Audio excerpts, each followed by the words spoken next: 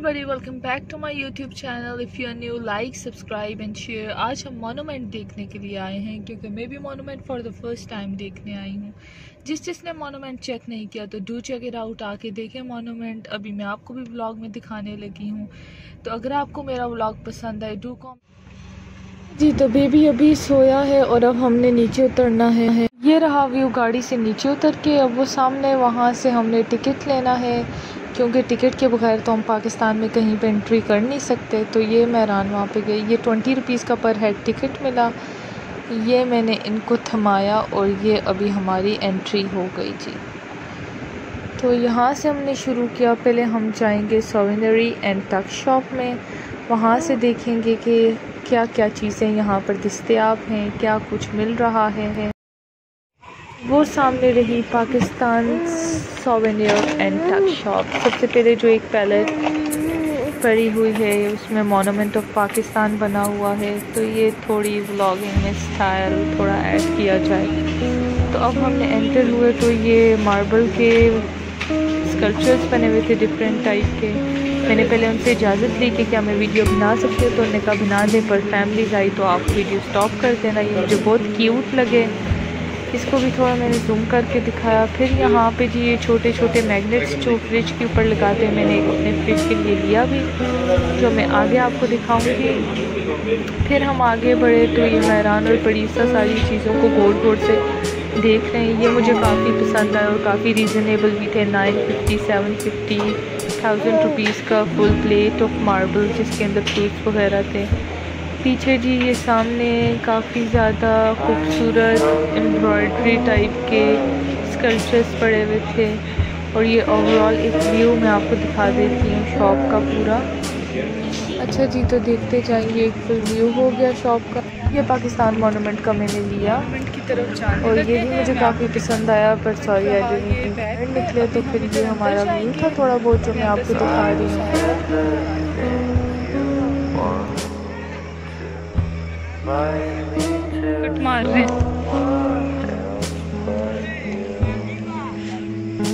आसमान बहुत ही खूबसूरत लग रहा है, जैसा कि आप देख सकते हैं सब। अच्छा जी तो ये रहा म्यूज़ियम, जो कि आई गेस बंद है, बंद ही है।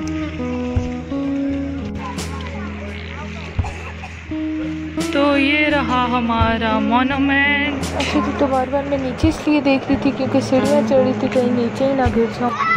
की साइड पे खड़ी होकर मैंने वीडियो बनाई जूम इन करके, जिस तरह के मोनूमेंट के ऊपर इंग्रेविंग वगैरह हुई कि मैंने खुद फ़र्स्ट टाइम विज़िट किया।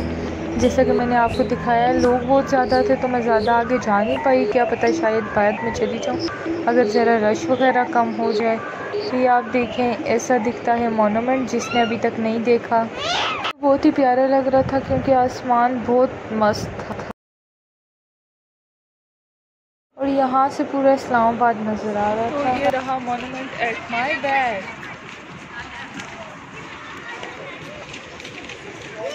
तो अब हम थोड़ी सी पोजिंग करने लगे हैं और ये रहा मोनूमेंट परी अभी ये पकड़ो एक मिनट पकड़ो। जी अपनी वीडियो भी बना लूँ मोनूमेंट के सामने लोग तो बिज़ी हैं। अच्छा जी तो बाकी की इंक्रेविंग ये रही।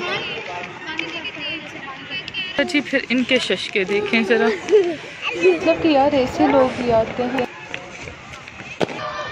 ये देखें ये इंतहाई खूबसूरत लग रहा है। ऊपर हम सारी जगह देख आए हैं और अब हम आए हैं ये नीचे। साथ साथ मैं पिक्चर्स भी पोस्ट करूँगी इधर वीडियो के साथ ही या वीडियो से आगे। अब छोटा सा ब्रिज रहा। मतलब कि यार ये व्यू कितना कमाल है मतलब जाने का तो दिल ही नहीं कर रहा, वापस।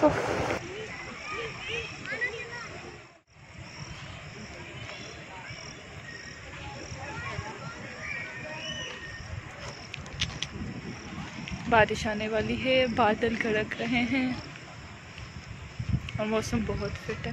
परी को ये बहुत पसंद है तो मैंने परी के लिए ये लिया।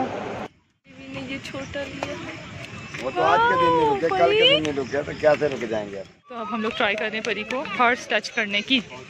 चले करें आगे। मैदान करें इसको।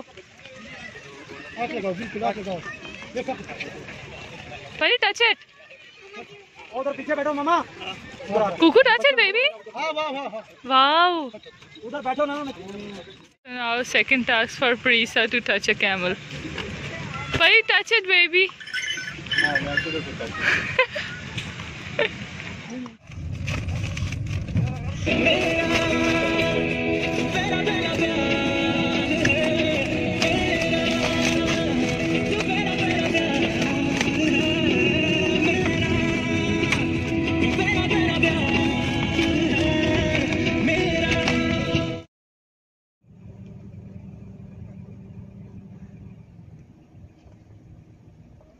पता ही नहीं। भूख बड़ी लग रही है और अब हम लोगों ने ऑर्डर किया है burger fest Alpino and chicken Alpino and beef Alpino क्योंकि हम दोनों मिक्स करके ट्राई करेंगे। और बड़ी कुछ शैतानियाँ आ रही है बड़ी। रहा मेरा बर्गर फेस्ट एक साइड पे chicken and second side beef फिर काफ़ी भूख लगने लगी थी तो बर्गर फेस्ट